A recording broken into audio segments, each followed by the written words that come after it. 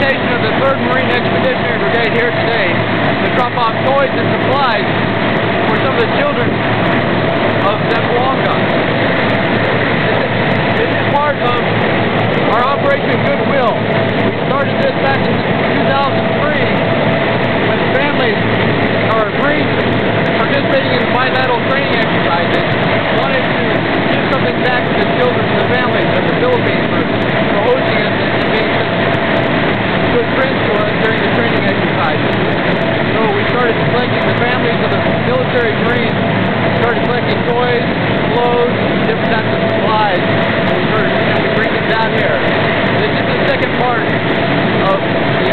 this year.